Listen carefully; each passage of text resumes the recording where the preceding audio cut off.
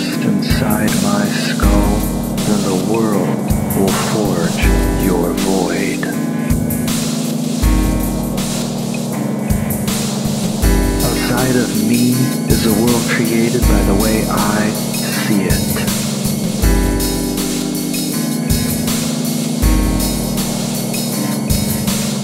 Everyone and everything is affected by me and my